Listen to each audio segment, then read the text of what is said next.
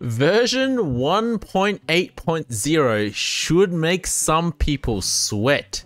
And those people are probably Vaporeon users. Welcome back to another Pokemon Sleep video, it's Brovinnie here. Before we talk about the update, I just need to make some corrections on yesterday's video about the summer event. And it is that Doduo and Swablu, the two flying type Pokemon, although I count Swablu more as a dragon type because it's not usable unless it evolves, they don't actually spawn at Cyan Beach. This is a new graphic that's been updated since yesterday's video. You can find it on my Discord under infographics. And you'll see that now Psyduck is now put into the Cyan Beach picture. Swablu and Dodrio's line have been removed. And this one's not a correction, this one's an addition to yesterday's video. We now have confirmation that the Good Sleep Day will happen during this summer event. Does it really matter? Well, unless you're really low on drowsy power in the area that you're going to hit, I don't think it matters that much as long as you can meet the drowsy power requirement for Cramorant. The night of the full moon, the day that gets the most bonuses during the Good Sleep Day event, will land on the Saturday of the Summer Festival event. Now on to the important part of this video. Why should you be sweating with this update? Version 1.8.0. That's coming on the 11th of June. Well, that's because Heracross is getting a buff in both its frequency and its main skill chance. But if you remember from my Vaporeon video, my Evolutions guide, you will know that Vaporeon is at the top of the ingredient magnet skill trigger of all Pokemon. But coming very close in second place was actually Heracross. So if you have invested in a Vaporeon, for example like Piggy, you should be a little bit afraid of this update because is there a chance that Heracross could overtake Vaporeon? Now based on our history of updates and buffs, generally speaking, the ranking between Pokemon don't tend to change too much when they buff a Pokemon. For example, when they buffed Sudowoodo a few weeks ago, Yes, it got slightly better, but it didn't beat Ampharos, which was already better than Sudowoodo to begin with, even after the buff. And thankfully, that remains to be true as far as I can tell regarding Heracross. When I did the calculations, and I'll show you my calculations towards the end of the video if you're interested, if we only include main skill chance times 1.05, so 5% increase, and ignore this part because I actually don't know what that means. How much is frequency shortened slightly? If the frequency shortening slightly is insignificant amounts, then there's no problem here. Vaporeon is still the top choice. Not only that, Heracross cannot evolve, and therefore you lose out on one main skill seed compared to evolving an Eevee into a Vaporeon. So overall, Vaporeon is still better. The other Pokemon that's getting a buff is Pinsir. And it's almost like these buffs are meant to go hand in hand with the Summer Festival event. It was just yesterday when I made the Summer Festival info video where I said, look, I'm not in a rush to hunt any of the bug types. That's because bug types aren't really needed yet in this game unless you really need a Pinsir because your Bulbasaur doesn't focus on honey, or maybe you need a Pinsir for apples so that you can do cacao on Absol. And I also said that Heracross wasn't really necessary because it's outclassed by Vaporeon. And it's almost like they were listening to my video yesterday and then today they were like, hang on, let's buff the bug types so that they might become a little more relevant during this summer festival event. Alright, so how about Pinsir? I did mention that Venusaur is the Pokemon of choice for honey farming if you've got a mono ingredient honey, and that's because Venusaur not only overall farms more honey, and I'll show you the numbers in a moment, it can also evolve twice, so even with the increased carry limit, Venusaur, if it's fully evolved from Bulbasaur, has a higher carry limit. And of course, you also save on two main skill seeds. With this 5% buff on Pinsir, thankfully, Venusaur is still the Pokemon of choice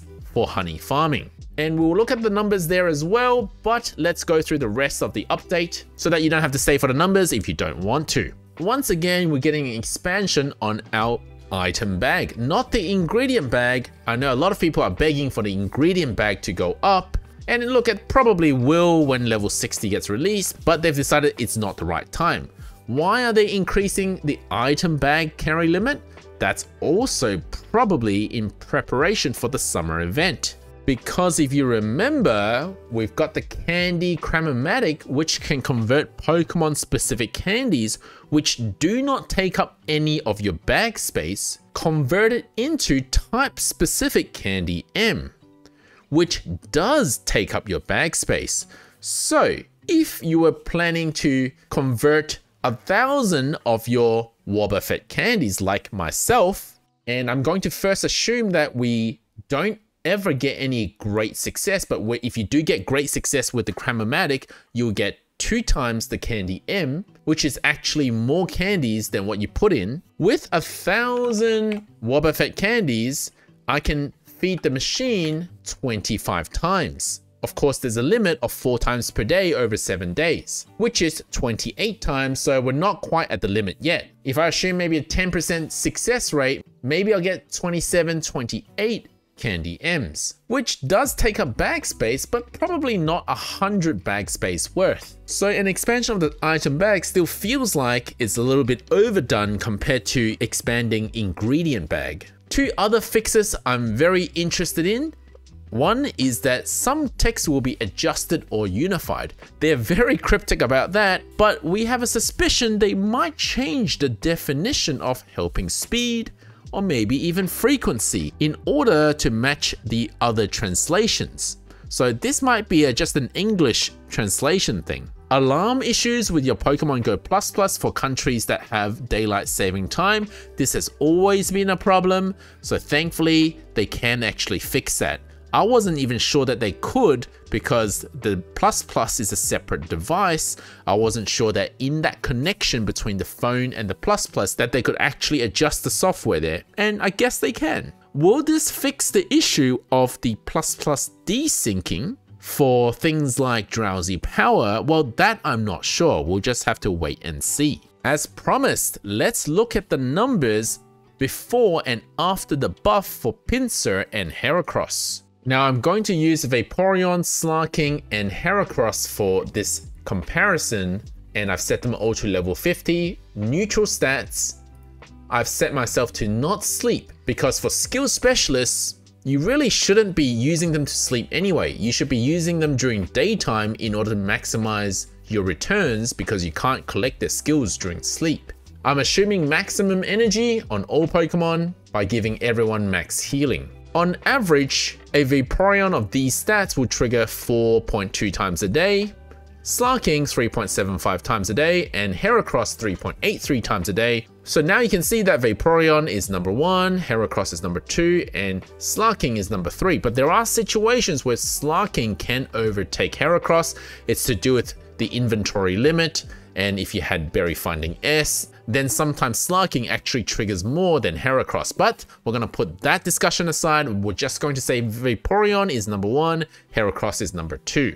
And the calculation to see the buff is very simple. You simply multiply that 3.83 by 1.05 because it's a 5% buff. You get 4.02 triggers in a day, which means that Vaporeon is still better, but not by a lot. Although what I haven't included is the slightly reduced frequency. If we included that, that number will go up a little bit more, but I just don't know how much. When they say slightly, I assume that it's going to be a very negligible amount. We'll just have to see, and if there's any changes, and for some reason, if Heracross overtakes Vaporeon, I'll be sure to let you guys know. But does that mean you should use Heracross now that it's very close to Vaporeon? I still think Vaporeon is going to be better, not only because it's got a better skill trigger rate, but also you can evolve it, save a main skill seed. Even Slaking has its benefits because Slaking can evolve twice, so it saves you two main skill seeds, even though it has a slightly lower trigger rate compared to the other two skill specialists for Ingredient Magnet. So even Slaking has its perks, that Heracross doesn't because it cannot evolve. The carry limit is not considered in this discussion, and that's because I assume that you guys are using your skill specialist properly and you're not letting them get to the carry limit, so reaching the inventory limit. For example, by going to sleep with them overnight. But if you don't log into the game often, it is a nice buff to have more inventory limit, especially for skill specialists. As for Pinsir, I've set up the calculator much the same way, maximum healing, no stats, farming all day, no sleep. In terms of the total honeys that a Pinsir can farm before the update, it's 64, and 70 if it's Venusaur. So about 10% better to run a Venusaur and you have a larger inventory limit and also you have two skill levels up. So does the buff from this update improve Pinsir enough to beat Venusaur? And it's as simple as taking 64.02, which is the number of honeys that you can farm, with Pinsir and multiply that by 1.05 representing the 5% increase and you get 67 honeys, pulling Pinsir much closer to Venusaur than it was before. So Pinsir is still a worse honey farmer than Venusaur. But it's nice to see because you can use Pinsir if you made a mistake in investing Venusaur earlier on, like myself. I've got a tomato, potato, Venusaur as opposed to a triple honey Venusaur. So then I can catch a Pinsir as my main honey farmer. Alternatively, because of the lack of ingredient specialists that do apples, especially at base level, it's a good idea to have a Pinsir to do apples as well. So having this buff definitely helps. What is interesting is that with this buff, now let's take a look at apple farming. The common apple farmers are Pinsir, Absol, and Delibird. Although I would much prefer Delibird focus on eggs instead, but if I were to just compare apple farming, these three are the only apple farmers that are also ingredient specialists at level 50.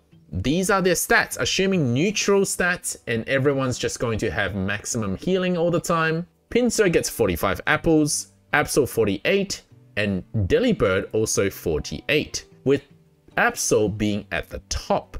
But now, if we multiply the 45.73 by 1.05 at 5% buff to Pinsir, at 48.01, it now matches Delibird in apple farming. Still very, very slightly, insignificant amount of slightly less than Absol.